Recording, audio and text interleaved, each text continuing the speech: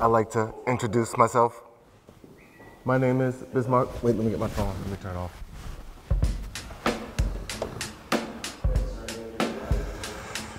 My name is Stanley Crump. Uh, my students call me Sensei Stan. My mom calls me Stanley Eugene Crump II. And uh, this is what I do for a living. We are the Okinawan Karate Dojo, and we have two locations in Ellicott City, Maryland, and in Catonsville, Maryland. Karate, if I said it correctly, would be karate, uh, and it's two different words. Kara means empty, te means hands. Uh, it came from Okinawa, Japan, uh, and when done correctly and when done uh, traditionally, uh, students are taught how not to fight, uh, how to be peaceful, how to be forgiving, how to be respectful, how to be balanced, how to be graceful. Uh, the training is about how do you protect yourself in a very uh, fight-ending kind of way. Uh, so uh, our style in particular, Uechi-Do, is a very up-close, in-style fighting, which means we prefer to be close to our attackers, because that's more like uh, real-life street situation versus the pretty spinning kicks and the floating um, um, things that you might see in other styles.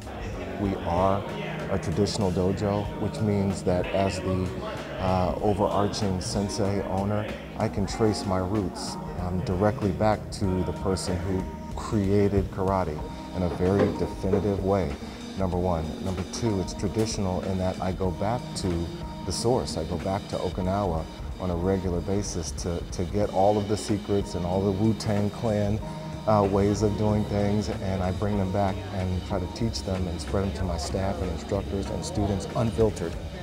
My name is Rob Wilkie. I am a third degree black belt and I am a sensei here at the Okinawa Karate Dojo. Um, so I encountered karate, I guess, my senior year of college. And after my first class, I knew that I was going to do martial arts for like the rest of my life.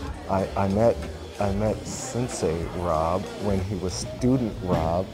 Uh, he came to me from the University of Maryland, and he was a, uh, a yellow belt, interestingly enough, because he had started studying in a karate club at the University of Maryland and um, he was not the superhero he is now. To have somebody like him is, um, is game changing. I was born in DC.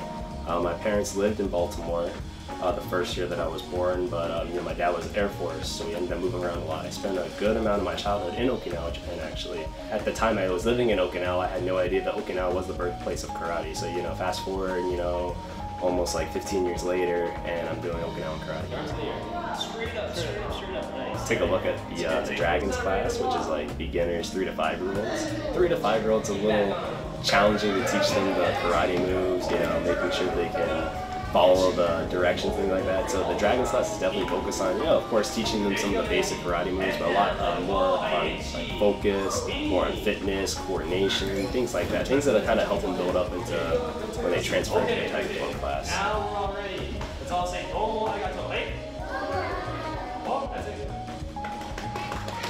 I think what we're providing here at the Okinawa Karate Dojo is really truly unique experience. I don't really know too many dojos in the United States that really have a connection to their sensei overseas that continue to go over there and train with their sensei um, on a regular basis and sending students like me over to train with them on a regular basis too. And then bringing the true authentic experience from Okinawa here and you know, it's difficult because I think we battle with a lot of cultural differences, but I think it helps to improve karate overall and showing that like, oh, how can we keep the same level of standard that you do in Okinawa, but then be able to teach it in a different setting to a different group of students and they have different challenges than you would if you lived in Okinawa.